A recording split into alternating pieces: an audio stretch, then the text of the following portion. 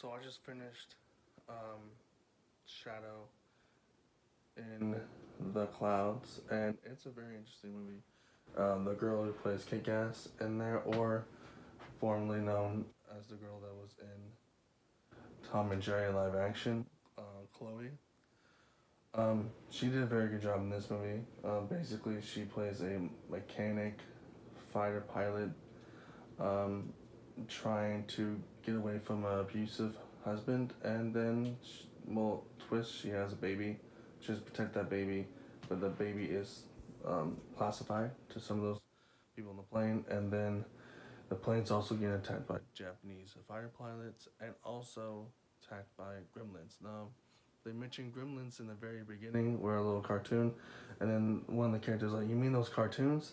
So these gremlins in here look better than the ones that, well, we grew up watching in the movie Gremlins, part one and two, and I think that's a slight reference to that because the creators in this actually make them look like sort of like those gremlins, but a little bit more um, demonic version of them.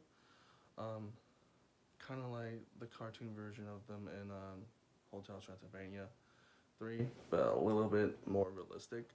And it's just interesting when those, um, very interesting when that gets in there.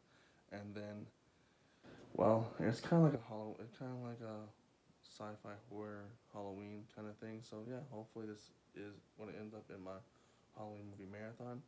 And yeah, and if you like this video, like it.